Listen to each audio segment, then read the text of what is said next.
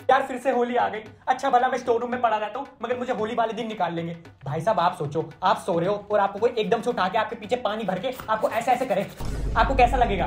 और पता नहीं इन्होंने आजकल क्या चला रखा है। अलग अलग पिचकारी लेके आ गए हैं। टैंकर वाली पिचकारी, इलेक्ट्रिक पिचकारी। अरे हमारे टाइम पे होती थी वो स्टील की रोड वाली पिचकारी। अगर पानी खत्म हो जाए, लड़ाई हो जाए तो उसी से मार दो। दोनों काम एक साथ हो जाते थे। भाई, मेरे को तो हवा में उड़ा देते हैं। कलर नहीं हो गया, आलू हो गया हमें किसी में भी मिला देंगे। और ये नॉर्मल कलर से खेल नहीं सकते क्या? ये ग्रीस ये कीचड़ और ये अंडा, ये क्या होता है?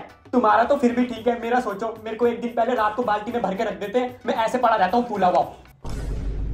जैसे कि राजमा भिगो के रख दियो। कहीं भी मेरे को मार देते दीवार पे मार देंगे लोगों पे मार देंगे। और ये कुछ लड़के तो इतने तेज होते हैं ना जानबूझ के भाभी को मारते हैं। कोई इज़्ज़त ही नहीं है।